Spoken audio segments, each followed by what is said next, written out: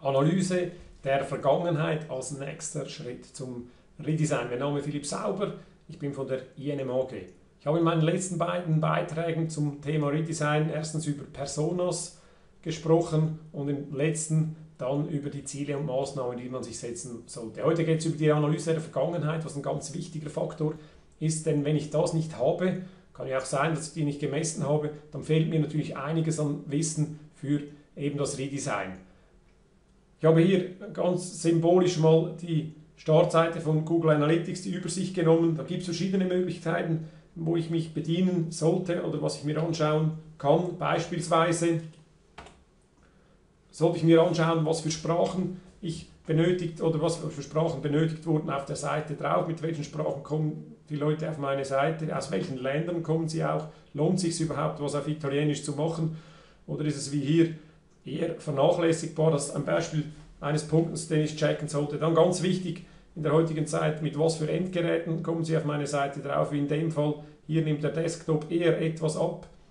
Die Smartphones, hier mit Mobile gekennzeichnet, haben zugenommen um rund 3% äh, und dasselbe bei den Tablets, auch die haben um rund 2,5% zugenommen. Also dass man dem Rechnung trägt und dann auch ganz wichtig die Screen Size. Ich habe unten eingerahmt diejenigen, welche auf Widescreen sind.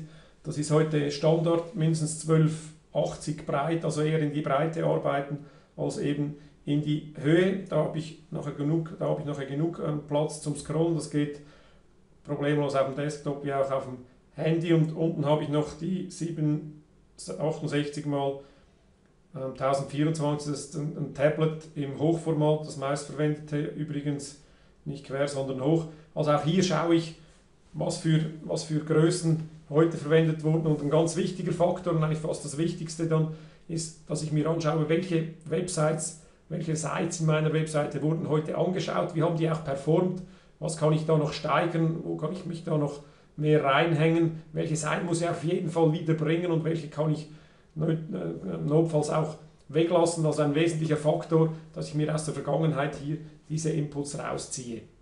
Das also ein ganz entscheidender Punkt. Nicht einfach sagen, was vergangen ist, das interessiert mich nicht mehr, sondern ich gehe da rein, hole mir die ganzen Daten raus. Wir machen da dann meistens so eine Präsentation mit vielleicht 40 Slides, äh, auf denen wir die ganzen vergangenen Daten rausziehen, schön aufzeigen und dann aus dem wieder rausschälen, was ich eben in Zukunft besser machen kann, was ich unbedingt wieder bringen sollte. Das ist also ein, der dritte Pfeiler bei einem Redesign, nachdem wir Personas definiert haben, als erstes dann die Ziele und Maßnahmen und jetzt dann beim dritten Schritt mit den Vergangenheitsdaten, die man hier rausziehen muss. Ich würde mich freuen, wenn ich Kommentare kriege oder Fragen, gerne. Mein Name ist Philipp Sauber und ich bin von der INM AG.